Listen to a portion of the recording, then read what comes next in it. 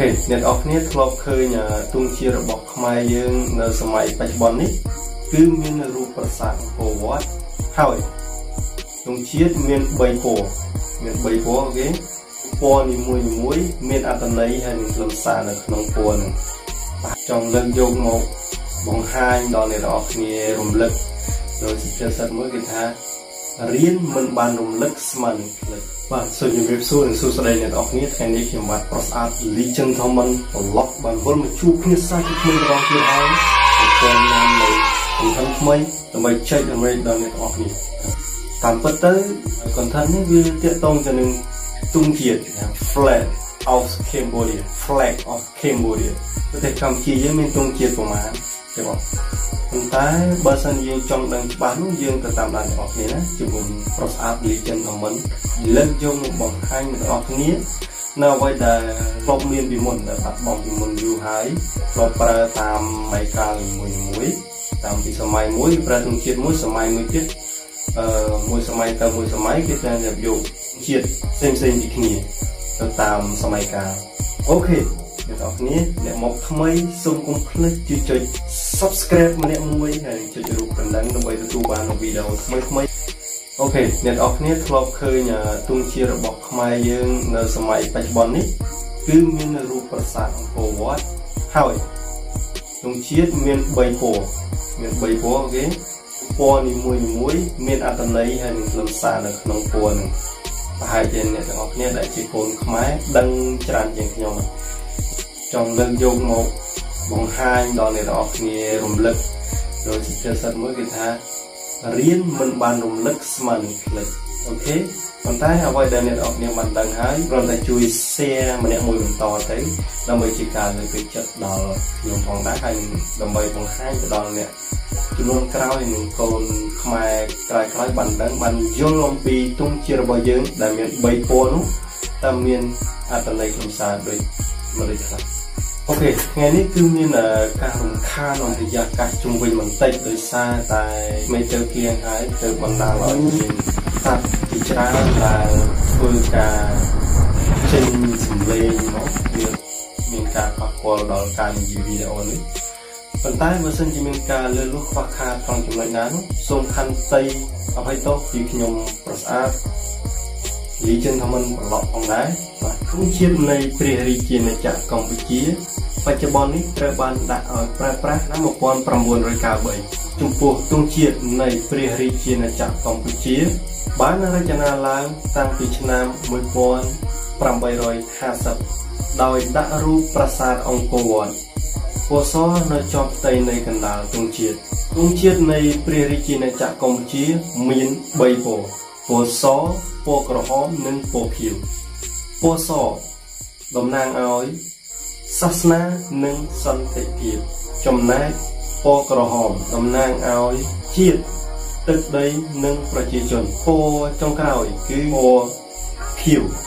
ដែលតំណាងឲ្យមហាក្សត្រនិងអគ្គមហេសីតាមពិតទៅទង់ជារបស់យើងគឺពិតជាមានអត្ថន័យខ្លឹមសារមែនដែលបានបង្កប់នៅក្នុងពណ៌នៃទង់ជាតិខ្ញុំនឹងនាំអ្នកទាំងអស់គ្នាទៅទេសនានៅទង់ជាតិទាំងអស់ដែលបានកើតឡើងតាំងពីឆ្នាំ1863រហូតមកដល់បច្ចុប្បន្នមានទង់ជាតិទាំងអស់9ក្នុងនោះខុសប្លែកពីគ្នាទាំងអស់តើឈ្មោះទាំងអស់នោះមាន អ្វីខ្លះហើយយើងទៅតាមដានទង់ជាតិមួយនេះមានពណ៌ខៀវព័ទ្ធជំវិញនិងពណ៌ក្រហមនៅកណ្ដាលហើយនឹងរូបប្រាសាទអង្គរវត្តមានពណ៌សចាប់តាំងពីឆ្នាំ1863រហូតដល់ឆ្នាំ1953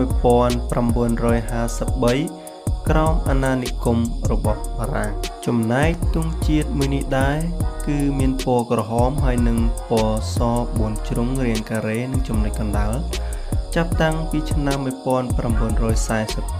រហូតដល់ឆ្នាំ1945នៅក្រោមការត្រួតត្រារបស់ជប៉ុន ចំណែកទង់ជាតិមួយនេះដែរគឺដូចនឹងទង់ជាតិសម័យយើងបច្ចុប្បន្នដែរគឺមានពណ៌ខៀវពណ៌ក្រហមនិងពណ៌សចាប់តាំងពីឆ្នាំ1948រហូតដល់ឆ្នាំ1970 នៅក្នុងសង្គមរាស្ត្រនិយមចំណែកទង់ជាតិមួយនេះដែរ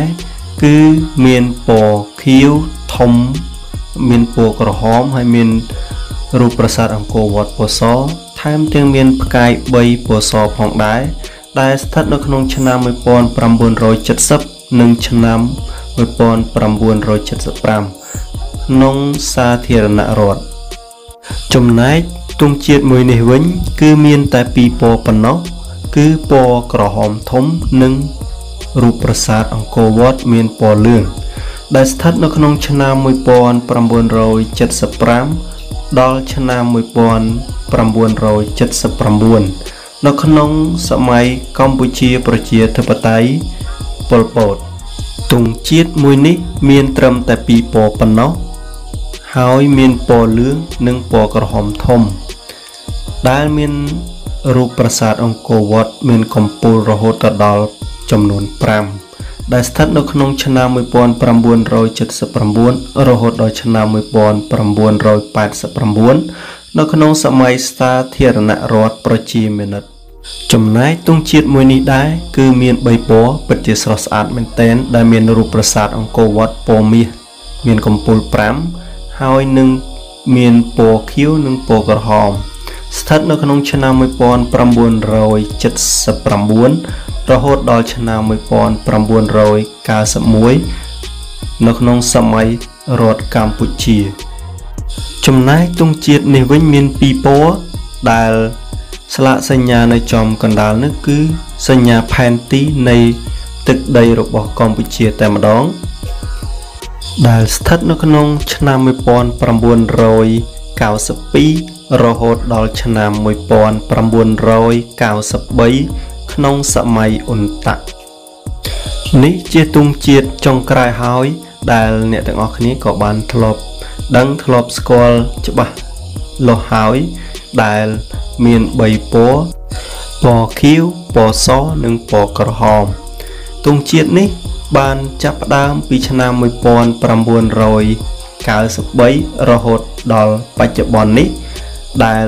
ស្ថិតនៅក្នុងសម័យបច្ចុប្បន្នព្រះរាជាណាចក្រកម្ពុជាវីដេអូនេះក៏ដល់ទីបញ្ចប់ផងដែរសូមកុំភ្លេចជួយចុច like និង subscribe ម្នាក់មួយដើម្បីទទួលបាននូវវីដេអូថ្មីៗគឺចុចរូបកណ្ដឹងហើយបើសិនជាមានការលើនោះខ្វះការត្រង់ចំណុចណាសូមខន្តីអភ័យទោសពីខ្ញុំបាទប្រស្អាត